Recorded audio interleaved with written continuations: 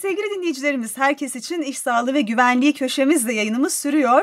İş Sağlığı ve Güvenliği Genel Müdürlüğü'nün yürütmekte olduğu ve madencilik alanında ülkemizin en fazla bütçeye sahip olan Madencilikte İş Sağlığı ve Güvenliğinin Geliştirilmesi Projesi kısa adıyla MİSGEP'i konuşacağız bugün. Değerli konuğumuzla İş Sağlığı ve Güvenliği uzmanı Hande Seray Tuncay telefon hattımızın diğer ucunda. Sayın Tuncay hoş geldiniz yayınımıza. Teşekkür ediyorum Sezin Hanım. Ee, sevgili dinleyicilerimiz Sayın Tuncay e, bu madencilik sektöründe iş sağlığı ve güvenliğinin geliştirilmesi yani MISGEP projesinde koordinatör olarak e, görev yapıyor. E, öncelikle tabii madenciliğin e, ülkemizde e, ne kadar önemli olduğunu bu sektörün gerek üretimde gerek istihdamda çok önemli bir yerde olduğunu biliyoruz ama detayları Sayın Tuncay'a sormak istiyoruz. E, Sayın Tuncay neden bu kadar önemli madencilik sektörü ülkemiz için? Ee, ülkemizin genç ve aktif jeolojik yapısı sonucunda çok çeşitli maden yataklarının bulunduğunu belirterek başlamak isterim evet. sözlerime. Günümüzde dünyada yaklaşık 90 çeşit madenin üretimi yapılmaktayken ülkemizde 60 civarında maden türünde üretim yapılmaktadır. Başta endüstriyel ham maddeler olmak üzere e, bazı metalik madenler, linyit ve jeotermal kaynaklar gibi enerji ham maddeleri açısından da ülkemiz oldukça zengindir. Hı hı. Biraz da ithalat ihracat rakamları ile ilgili bilgi vereceğim Tabii. sizinle. Türkiye'nin madencilik sektöründeki ihracat pazar kompozisyonuna baktığımızda dünyanın en büyük maden ürünleri ithalatçısı olan Çin'in ilk sıralarda yer aldığını görüyoruz. Ülkemizin Çin'e yapılan maden ihracatı 2020 yılında %17 oranında artarak 759 milyon dolar olmuştur. Ayrıca ülkemizden İspanya, Belçika ve Bulgaristan'a da ihracat mevcuttur. Evet. İthalat yönünden ise Rusya Federasyonu %27'lik pay ile ilk sırada yer almakta. Rusya dışında Kolombiya, Brezilya ve ABD'de e, sektör ithalatında öne çıkan pazarlardır. Ülkemizin kendi üretim rakamlarına baktığımızda ise 2020 yılında 88.4 milyon ton kömür üretimi yaptık. 14.7 milyon ton ise mermer ve türevi diyebileceğimiz doğal taş üretimi yapmış durumdayız. Ee, bir örnek daha vermek gerekirse altın üretimi rekor kırarak 42 ton olarak gerçekleşmiştir. Ve son 10 yılda %80'lik bir artış söz konusudur. Buradaki rakamlardan da gördüğümüz üzere madencilik sektörünün e, üretim, ithalat ve ihracat süreçlerinin hepsi düşünüldüğünde sektörler arasında katma değer ve istihdam yaratma kapasitesi açısından üst sıralarda kendine yer bulduğunu belirtmek isterim. Evet.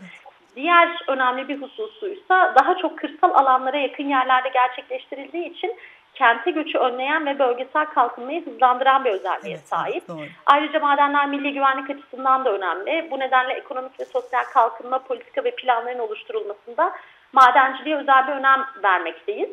Ee, ekonomik açıdan baktığımızda gayri safi yurt içi hasılaya 2020 yılında 59.2 milyar TL'lik e, bir katkı sağlamış durumda madencilik sektörü. E, sektörü çok duymamızın sebebi ise bünyesinde yürütülen faaliyetlerden dolayı en fazla risk, risk taşıyan sektörlerden birisi. Ee, diğer sektörlerden ayıran en önemli özelliklerinden biri çalışmaların devam etmesi sırasında ortam şartlarının sürekli değişmesi ve bu değişimin kontrol edilmesi gerekliliği Sezin Hanım. İlk sorunuzu bu şekilde özetleyebilirim. Ee, Sayın Tuncay bu kadar önemli bir sektör sizin de ifade ettiğiniz e, üzere hem üretimde hem istihdamda yerinin de ne kadar yüksek e, ve ne kadar büyük bir pay aldığını e, anlattınız. E, muhakkak böylesine önemli bir sektör için İş Sağlığı ve Güvenliği Genel Müdürlüğümüzün de pek çok çalışması var. E, veriler ne durumda? Biraz bunlardan da bahseder misiniz? Tabii ki Sezin Hanım. Ee, çalışma hayatına dair istatistiki verilerimizde e, Sosyal Güvenlik Kurumu üzerinden elde ediyoruz. 2020 yılı için yayınlanan SGK istatistiklerini incelediğimizde maden iş yeri sayımız 6898 ve çalışan sayımız 141.692 olarak belirlenmiştir. Sektörde toplam 13.048 iş kazası meydana gelmiş ve maden sektöründe meydana gelen kazalar tüm iş kazalarının %3.4'ünü oluşturmuştur. Sektördeki istihdam ve iş kazası verilerine ve geçmişte yaşadığımız elim kazalara baktığımızda iş sağlığı güvenliğini ancak multidisipliner bir yaklaşımla evet. sağlayabileceğimizi öngörüyoruz. Sektör bizim vazgeçebileceğimiz bir sektör değil. Çünkü toplumsal refah düzeyinin ilerlemesinde kritik bir rol alıyor. İmalattan otomobil sektörüne, elektronikten ilaç sektörüne kadar hemen hemen tüm sanayinin ihtiyacı olan enerjiyi ve ham maddeyi sağlıyor. Özellikle madencilerimizin istihdam edildiği bir sektör olması sebebiyle de İş Sağlığı Güvenliği Genel Müdürlüğü için oldukça önemli. Proje, araştırma, mevzuat, istişare çalışmalarında en temel alanlarımızdan birisi madencilik sektörü. Ülkemizde madencilik sektörünü şekillendiren dönemin şartlarına göre belli bir standart getiren temel mevzuatımız bizim tüzüklerdi. Tüzükler her iş yeri özelliğine uygun özellikte değildi maalesef. Hı hı. Bu sebeple e, Avrupa Birliği mevzuatlarının adaptasyonunu sağladık. İş Sağlığı Güvenliği Genel Müdürlüğü olarak e, 2012 yılında 6031 sayılı İSG kanununu yayımladık ve bütün Avrupa Birliği'nin maden direktiflerini maden işyerlerinde İSG yönetmeliği olarak tek bir mevzuatla ülkemize adapte ettik. Bu noktada önemli olan ülkemize yerleşik içtihatlarımıza ve yapısal şartlarımıza uygun olacak şekilde bunları hazırladık. Hı hı. Ee, ülkemizin şartlarını iyi bilen bir genel müdürlük olarak AB uygulama ve direktiflerini yerelleştirerek yansıttığımızı da vurgulamak isterim Sezin Hanım. Ee, ne kadar iyi yapıyorsunuz. Gerçekten sizin de ifade ettiğiniz gibi böylesine önemli bir sektör. Ee, hem istihdam açısından hem üretim açısından hem ülkemize getirdiği gayri safi milli hasıla açısından çok kıymetli. Ee, muhakkak da İş Sağlığı ve Güvenliği Genel Müdürlüğümüzün bu alanda pek çok çalışması var ki bugün onlardan e, birini biraz daha detaylı bir şekilde değerlendirmiş olacağız. Ee, MISGAP projesinden bahsediyoruz elbette madencilikte iş sağlığı ve güvenliğinin geliştirilmesi projesi. Bu proje nasıl ortaya çıktı? Ee, siz nasıl dahil oldunuz? Biraz da bunlardan bahsedelim mi? Tabii ki. MİSKEP projesi genel müdürlüğümüzün uzun süredir üzerinde çalıştığı bir proje. 2017 yılının başında tasarladığımız bir projeydi. 2019 yılı Kasım ayında hayata geçirebildik. Hı hı. Avrupa Birliği projeleri doğası gereği dokümantasyon süreçlerinin oldukça yoğun olduğu projeler. Projelerimizin önemli, projemizin önemli özelliklerinden birisi de en başından itibaren bu alandaki paydaşlarla beraber ilerlememiz. Gerçekleştirdiğimiz paydaş toplantıları, görüş alışverişleri neticesinde AB nezdinde, Avrupa Birliği nezdinde de desteklemeye hak kazandı. 17.6 milyon avroluk bir bütçeye sahip. Bu bütçenin %85'ini Avrupa Birliği finanse ettiği gibi %15'ini ise Türkiye Cumhuriyeti ülkemiz tarafından e, finanse edilmektedir. Burada belirtmek istediğim önemli husus ise İş Sağlığı Güvenliği Genel Müdürlüğü olarak biz bugüne dek oldukça fazla Avrupa Birliği projesi yürütmüş bir kurumuz. Bu alanda ciddi kurumsal kapasitemiz mevcut. Proje bakanlığımızın tüm yönetim kademelerince benimsenmiş ve takip edilmektedir. Hı hı.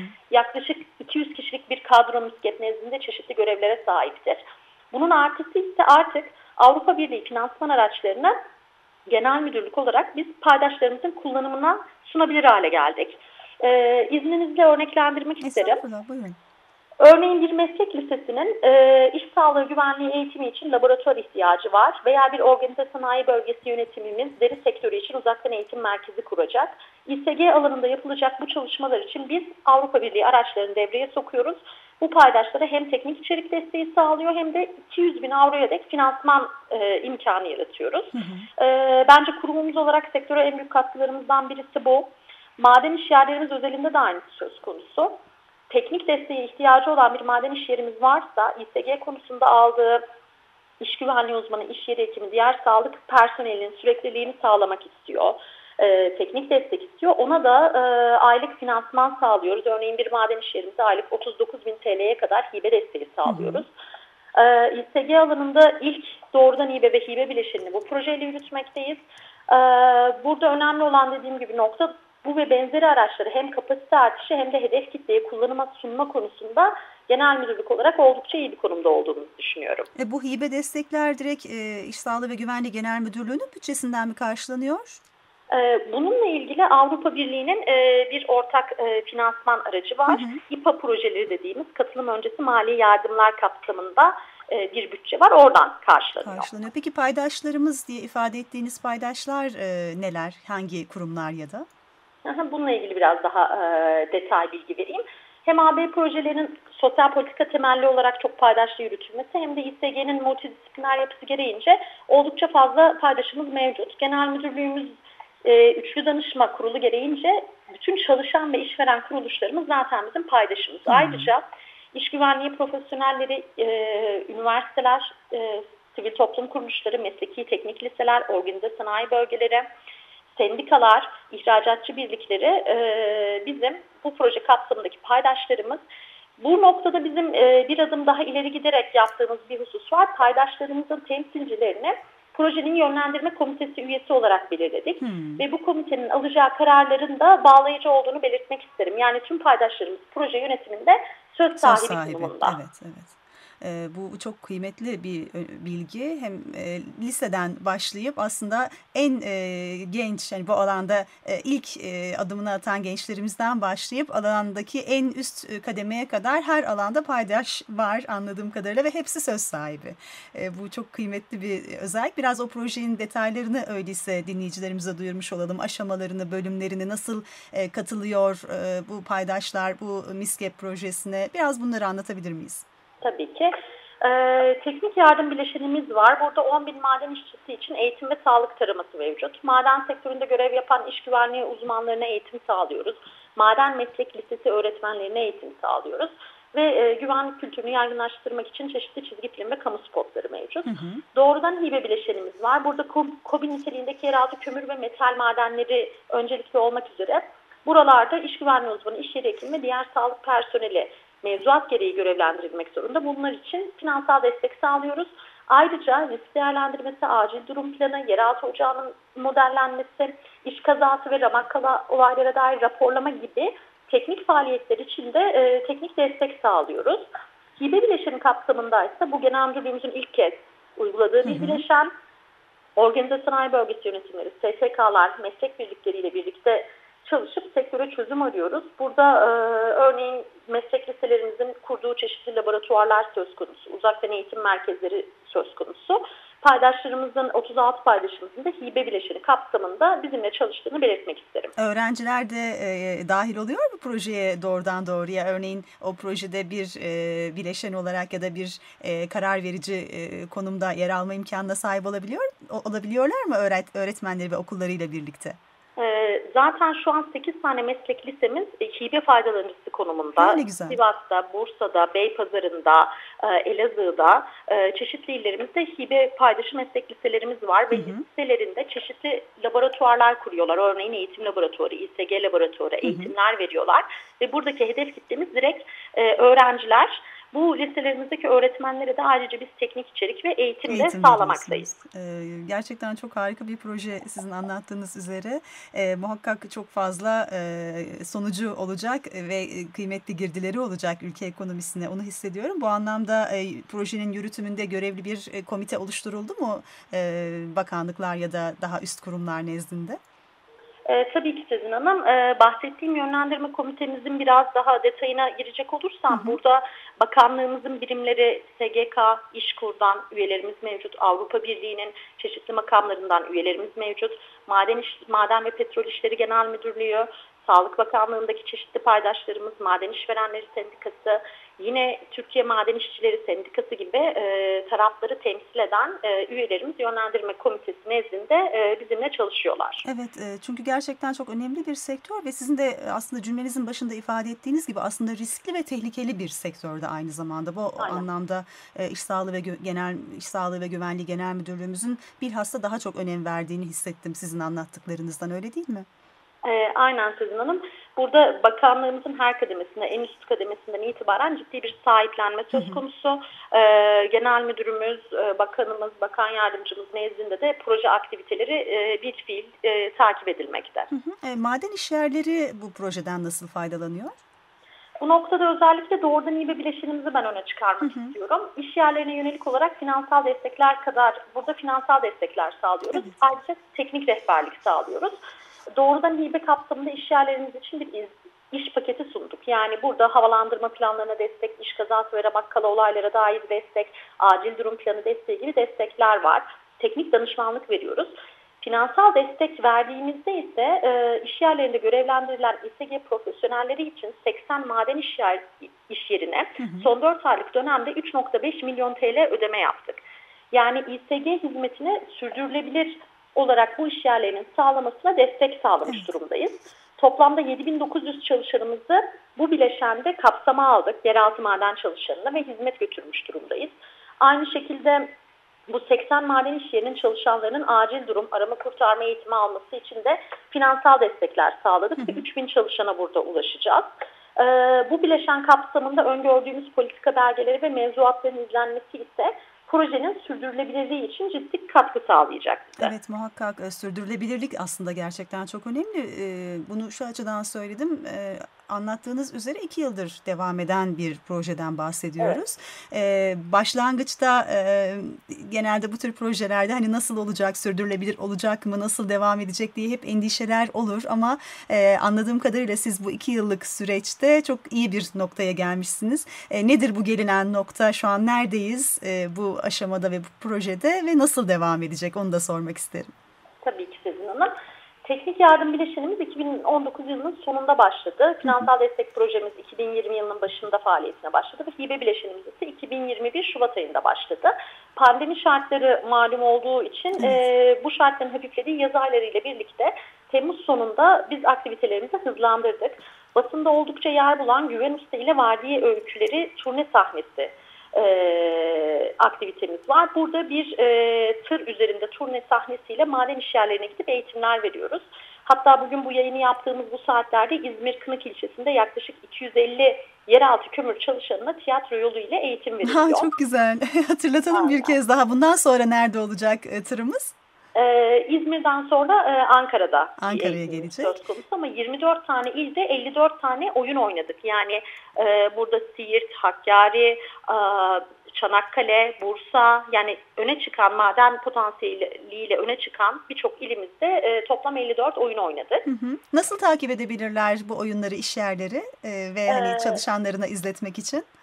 Burada e, MISGAP e, web sitesi ve İş Sağlığı Güvenliği Genel Müdürlüğü'nün web sitesi üzerinden bilgi alabilirler. Hı hı. E, Covid-19 ile mücadele kapsamında biz bu eğitimleri açık havada bir tır üzerinde yapılmasını öngördük ki e, riski, bulaş riskini bu anlamda azaltabilelim. Tabii.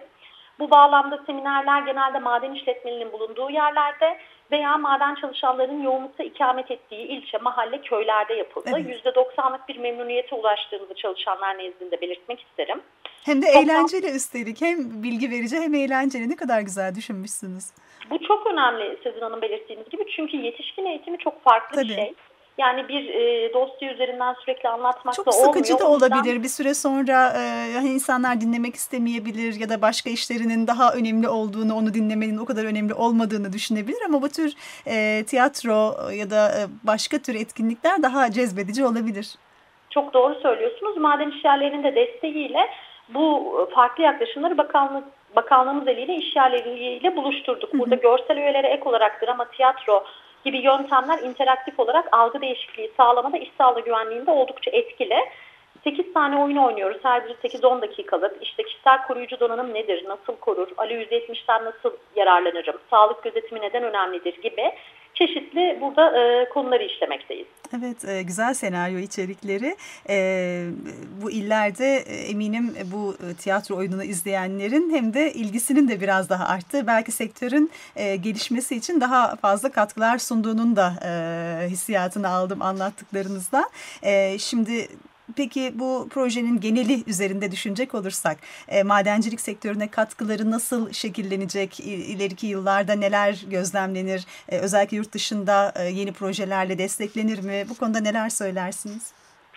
E, MİSKEP ile özellikle madencilik sektöründe önleyici yaklaşıma dayalı iyileştirilmiş çalışma şartlarını artık oluşturabilmeyi biz hedefliyoruz.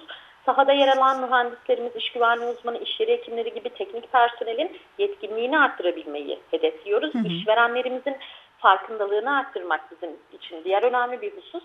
İSG'ye dair bakış açısının değişmesi, çalışanlarımıza güvenlik kültürü ve algısına dair destek sağlamak bizim için önemli noktalar. Proje ayrıca genel müdürlüğümüzce sahada görülen mevzuata dair değişiklik gerektirecek hususların belirlenmesi yönünden de önemli. Yani mevzuat ve saha arasında bir köprü niteliğinde.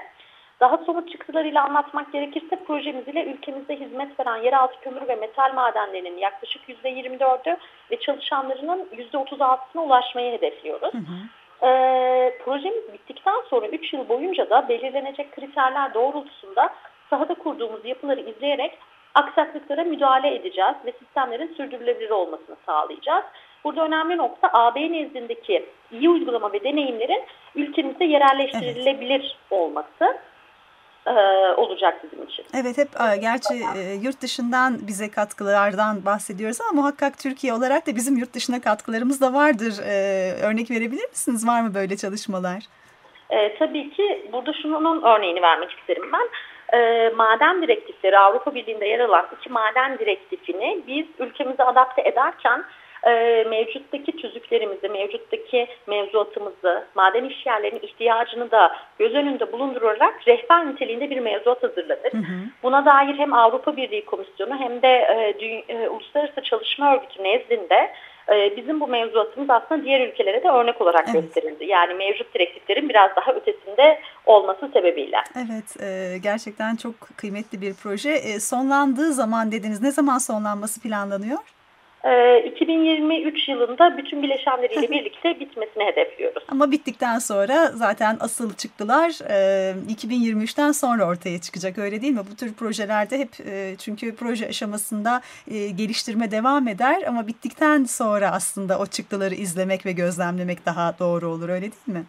Bu çok doğru Sezin Hanım. Sürdürülebilirlik dediğimiz nokta yani bu projeden çıkaracağımız politikalar, mevzuat değişiklikleri ve yaklaşım değişiklikleri hem işveren hem çalışan yönünden bizim aslında maden sektörü için politikamızı belirlemiş olacak. Evet e, Sayın Tuncay çok teşekkür ediyoruz. Sizinle olan bölümümüzün sonuna geldik. E, son birkaç cümleyle e, bu projeyi toparlayacak olursak bu arada yeni çağrılar da var mı? Hani e, bileşenlerden bahsettik ama yeni e, her yıl belki yeni yeni e, kurumlar da size dahil olmayı arzu ediyordur. Nasıl katılabilirler projeye, nasıl dahil olabilirler? Onun da bilgisini vererek sonlandıralım dilerseniz. Tabii ki. E, projemiz nezdinde destek verdiğimiz maden işyerleri ve hibe destekçilerimiz belli. Bu alanlarda şu an e, çağrımız söz konusu değil ama e, 30 tane ilde biz mühendislere eğitimler vereceğiz üniversitelerimizin maden mühendisliği bölümlerine eğitimler vereceğiz. Bu noktada da MISGAP.org ve İSGGM'nin e, web sitesi üzerinden e, mühendisler veya üniversitelerimiz başvuruda bulunabilirler. Ee, sözlerimizin sözlerimin sonuna gelirken projeyi beraber yürüttüğüm tüm çalışma arkadaşlarıma ve yöneticilerime güçlü işbirlikleri ve emekleri için ben teşekkür etmek istiyorum ve İş Sağlığı Güvenliği Genel Müdürlüğü'nün İSGGM Medya ve MISGAP projesinin de MISGAP TR kullanıcı adıyla sosyal medya hesaplarından teknik içerik ve bilgi edini, edinilmesine mümkün olduğunu belirtmek istiyorum. Evet çok teşekkür ediyoruz Sayın Tuncay yayınımıza katıldığınız için, e, aktardıklarınız için projenin e, sürdürülebilir ve geliştirilebilir olması ve e, ülkemize değerli katkılar sunması temennisiyle sizi sevgi ve saygılarla uğurluyoruz. Sağ olun, var olun. Çok teşekkür ediyorum Sezin Hanım. Sevgili dinleyicilerimiz, iş sağlığı ve güvenliği uzmanı Hande Seray Tuncay telefon hattımızın diğer ucundaydı. Herkes için iş sağlığı ve güvenliği köşemizde. E, iş Sağlığı ve Güvenliği Genel Müdürlüğü'nün yürütmekte olduğu ve madencilik alanında ülkemizin en fazla bütçeye sahip olan madencilikte iş sağlığı ve güvenliğinin geliştirilmesi projesi kısa adıyla MISGEP'i konuştuk. E, kendisine bir kez daha teşekkür ediyoruz aktardıkları için. Güne Bakan devam ediyor.